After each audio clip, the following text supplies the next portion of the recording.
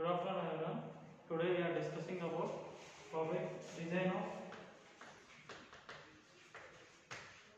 reinforced concrete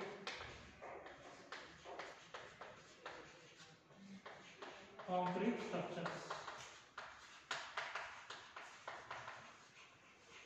Now it is renamed as structural engineering 1.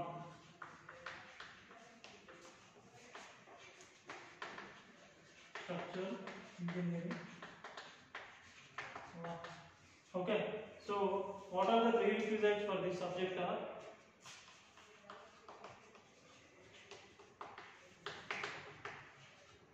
first right, first we'll uh, go to engineering mechanics. Engineering mechanics. So engineering mechanics we will know how to deal with the uh, how to resolve the free body into the forces like F sin theta and F cos theta. So we know how to resolve the body into the forces. Next. So coming to the next sub, uh, semester, we will uh, deal with the subject strength of materials. Strength of materials. So in strength of materials, we will get to know these uh, uh, topics like different types of beams. So different types of beams, there will be cantilever beam,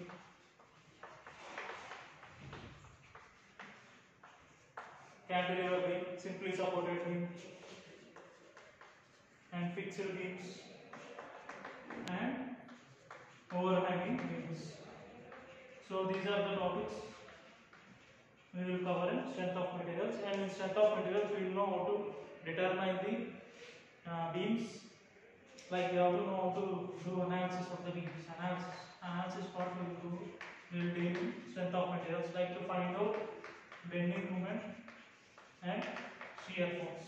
So after coming to the next semester we will go uh, new subject like structural analysis 1 and SA2 in these uh, subjects we will know how to deal with uh, to determine the bending moment and shear force for the different types of beams and frames in different methods like Kani's method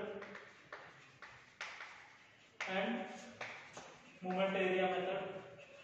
So these are the different methods in SA1 and SA2 we will cover to how to find out the bending moment and shear force. Now coming to the design of reinforced concrete structures. So what is meant by design? So design. So first we, uh, definition of design.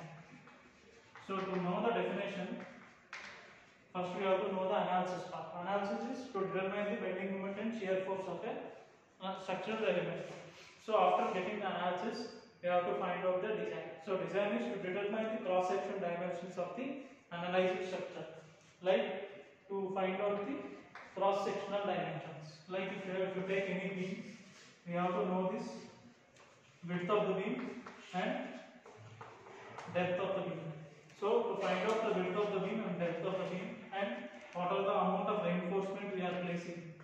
So we have to know this all the parameters like width of the beam, depth of the beam and cross sectional area of the beam and detailing of the beam like reinforcement.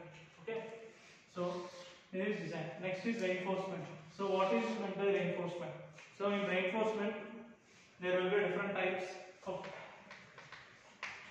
different types of steel we will be using. So why we will use reinforcement means to give additional strength to the structural element. Suppose if you give if, if there is a PCC, PCC is nothing but plain cement concrete. In plain cement concrete there will be only cement, fine aggregate, coarse aggregate and sand. There will be no structural uh, any type of steel.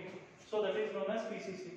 If you apply heavy load on this PCC, it tends to fail. So to counterattack that failure, we are introducing reinforcement in cement concrete that is known as RCC. So in RCC there is different types of steel will be used. So first we are using in olden days mild steel. Mild steel are using. Now we are using HYSD bars. HYSD bars is nothing but high yield strength deformation bars. And now for heavy structures or bridges like them, like that things we are using TMT bars. TMT bars is nothing but thermomechanically treated bars. So this is about reinforcement. And we coming about next part is concrete. So concrete is a concrete is a mixture of it is a mixture of cement, fine aggregate, and coarse aggregate and water. So after mixing all these things, it, uh, the paste will be formed that is known as concrete. And uh, after casting for 28 days, after curing for 28 curing for one day, it will be become hardened structure, hardened concrete that is known as concrete. Next is structure. So structure. So what is meant structure? Structure is nothing but assembly of different structural elements. So structural elements such as in RCC structure is beams, columns, footings, slabs, staircase. The assembly of different structural elements where the load can transfer from one member to another member. That is known as structure. Okay. So so structure the load always uh, load transfer will be from load transfer will be from uh, always from bottom to from top to bottom. So if you apply load on the slab, it will first the load will go into the slab from slab to beams, beams to columns, and columns to footing, and from footing it will go to the ground level. Okay. So this will be the load mechanism, and this is known as structure. So in RCC DR's case, we will be dealing different topics that is known as beams, columns, slabs, footings, and staircase. So these are the different structural elements. We are we, we will be dealing with the RCC. So if we go to the beams, there will be two types of beams that is uh, singly reinforced beam and doubly reinforced beam. And if you go to columns, there will be a long column and short column. If you go to the slab, there will be two types of, uh, three types of slabs will be there, one way slab, two way slab, and another one is flat slabs. And if you go to footings, there will be different types of footings. Footing will be mainly, mainly. It is a substructure. It depends on type of the foundation, shallow foundation and deep foundation. In shallow foundations, we will get different types of beams like isolated square footing, isolated rectangular footing, isolated circular footing, trapezoidal footing, combined footing, and, uh, different, and uh, combined footing. These are the different types of footings. And the last one is raft foundation. So raft foundation also one of the type of footing. Raft footing. So this will be used for uh, like uh, commercial buildings, like uh, where the area of the building is more. Will be using this type of footing, and it will be used for high high-rise buildings also, skyscrapers. Okay, these are the structural elements.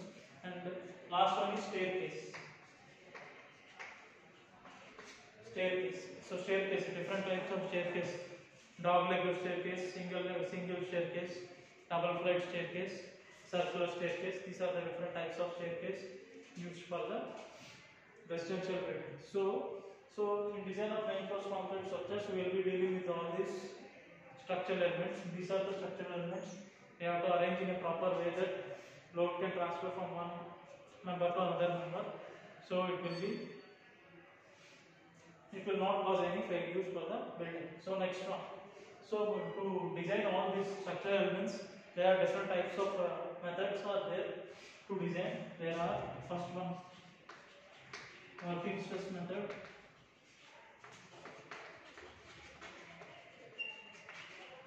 Second, ultimate load method. Third one, LSM, limit state method. These are the three different methods used to design any structural.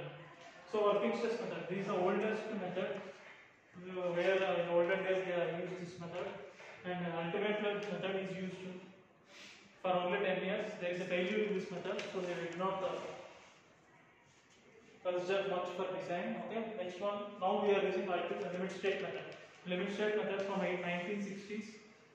1960s to till now we are using this limit state method. Okay. And there is a code book for this uh, design. So that is known as IS 456 year 2000. 2000 is the year. And name of the code book is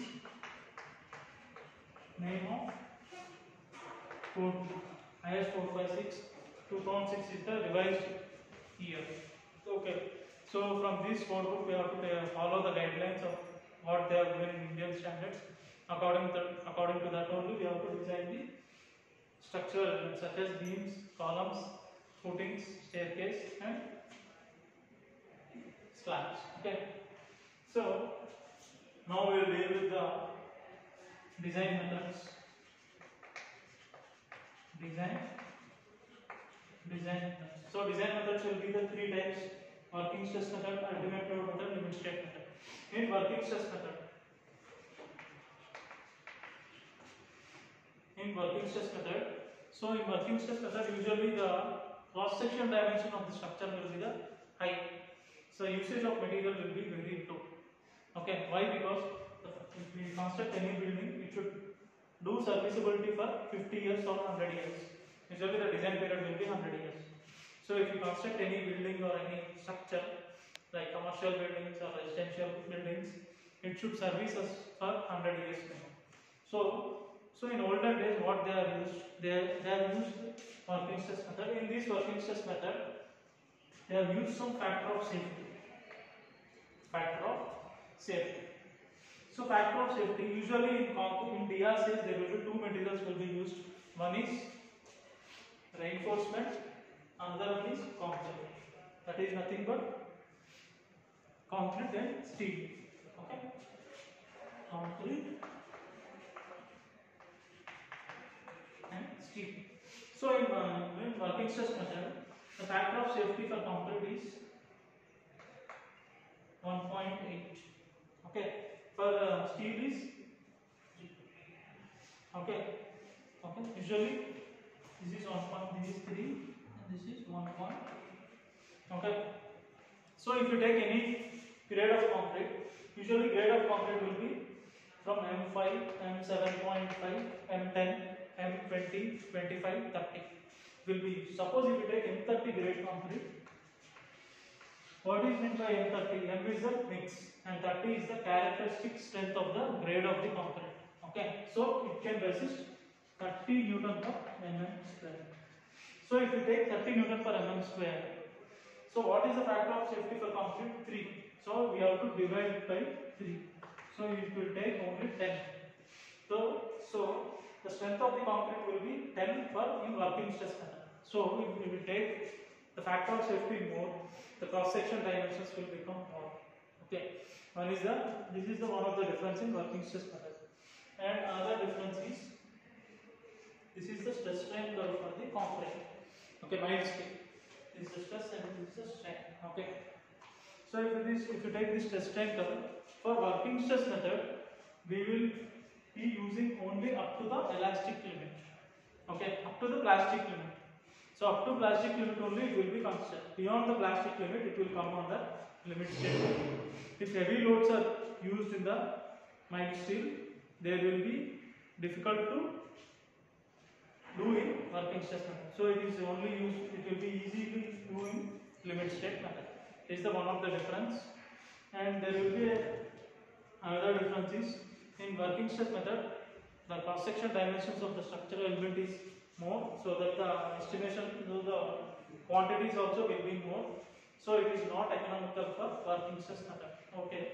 Coming to next method, ultimate load method. In ultimate load method, there will there are two criteria in working stress method, ultimate load method, and LS. One is safety, uh, another is serviceability. So safety. So safety failure. So usually failure will be done in three types for uh, structural elements. One is bending failure, shear failure. Third one is deflection failure or torsional failure. These are the failures done in safety. In serviceability, the failures will be vibration, uh, vibration, cracking. So these will be the failures. So in working stress method, safety criteria is very much satisfied, but serviceability criteria is not satisfied. Okay. So when in the ultimate load method, serviceability criteria is satisfied, safety criteria is not satisfied. So after uh, revision of uh, code book, um, finally decided to do this uh, LSM method. In LSM method, these two criteria is satisfied. So now we are completing these two methods.